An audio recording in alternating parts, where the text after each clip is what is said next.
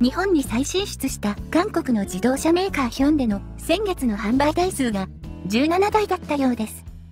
記事とネットの反応を見てみましょう。2023年6月12日、韓国アジア経済は、ヒュンダイ自動車ヒョンデの先月の日本市場での販売台数は17台だった年、12年ぶりに再進出し、初年度の半年間で500台を売り上げ、成功の可能性を見せたが、それから約半年が過ぎた、現時点では満足できない成績だ。中国の BYD との真っ向勝負でも押されている、と伝えた。記事によると、ヒュンダイ自動車は、先月の17台を含め、今年1から5月に、日本で199台を販売した。記事は、外国自動車メーカーに厳しく、攻略が難しいとされる日本市場の特性がはっきり示された成績だと伝えている。ヒュンダイ自動車は昨年日本に再進出し、電気自動車 EV アイオニック5と燃料電池車ネクソを販売している。また、記事は注目されるのは BYD の成績だとし、BYD は先月の141台を含め、今年初めから先月までに日本で440台を販売したとしている。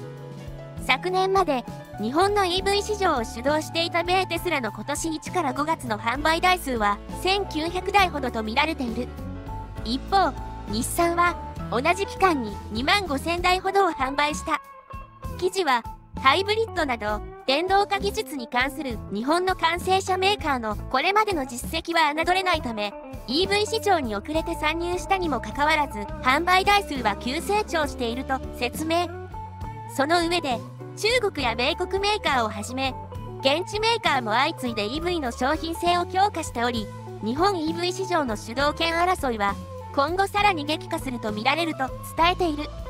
この記事を見た韓国のネットユーザーからは、日本はサムスンのスマホすら売れない市場だからね。ヒュンダイ自動車は日本人の好みに合わない。日本は自国メーカーでも軽自動車以外は売れない。EV も小さいものしか売れない。ヒュンダイ自動車は最小でも準中型以上だが、中国はゴルフカートサイズのものまで作って安く売っている。もっと日本市場を研究するべきだ。キャスパーを EV にして売れば日本でもヒットしそう。などの声が寄せられている。それでは、日本の反応です。17台とか、何かの特殊車両かな？17台も売れたか。よかったな。頑張ったんだね。このペースだと、年間200台いけるじゃないか。やったね。国産の半額でもいらんわ。ましてや、一丁前の値段すんだろ。違う。そうじゃない。爆発しない研究をしろ。女にターゲット絞ったら朝鮮ポップのライブとセットで売ればいいんじゃない知らんけど。その手はもう缶コーヒーでやっとるんや。月17台か。まあ売れてるんだからええだろ。若者はみんな韓国大好きって設定なんだろうこの数字おかしいじゃねえかよ。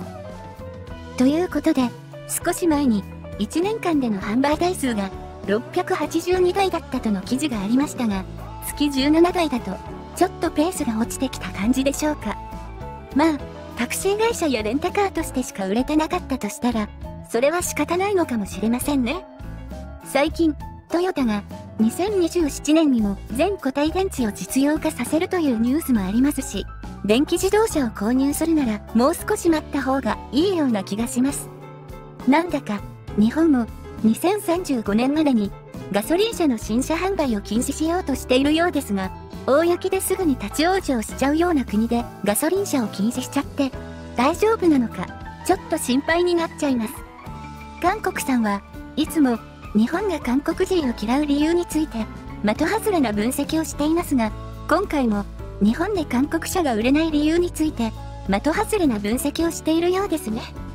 韓国さんは日本では大きい車は売れないとか言っていますが、確かに小さい車の方が人気はあるのかもしれませんが、すごく大きいトヨタの逆輸入車みたいなのが走ってるのもよく見かけますし、普通にミニバンなんかも、すごく人気でたくさん走ってますよね。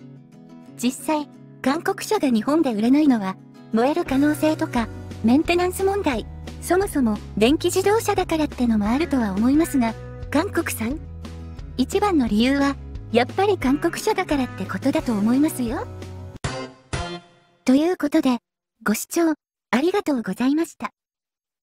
それではまた次回の動画でお会いしましょう。